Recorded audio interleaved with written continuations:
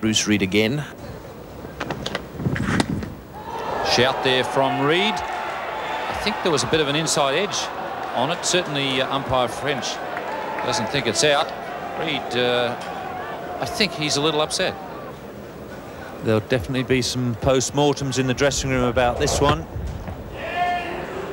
Gower very close indeed. Tim Zoehrer behind didn't drift too far down the leg side. That's usually a sign. Gower didn't appear to get an edge, but Dick French not interested. Watch every Ashes moment live. And this is like the days of Lillee and Thomson. Oh, how about it? How about it? Buy your live pass at cricket.com.au slash subscribe.